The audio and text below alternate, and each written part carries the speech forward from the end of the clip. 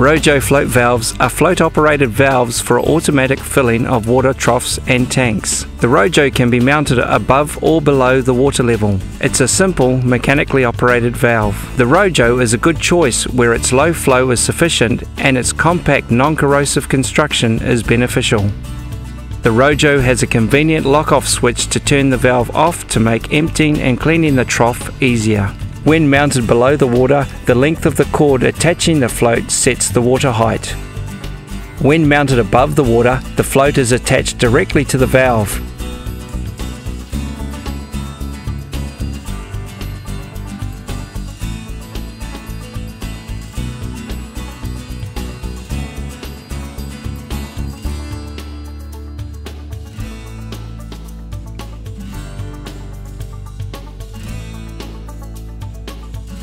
There is a check valve built into the inlet thread and when the Rojo valve is unscrewed for servicing, the check valve cuts off the water flow.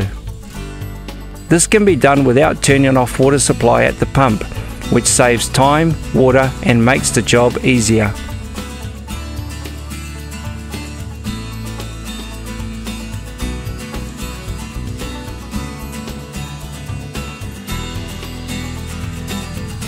If a lower water level is needed, the float can be attached with this extension. The float can be fitted at various angles and heights using the range of extension arms 25mm, 50mm, 75mm and 100mm arms are available. The Rojo float valve, a small valve that's big on features.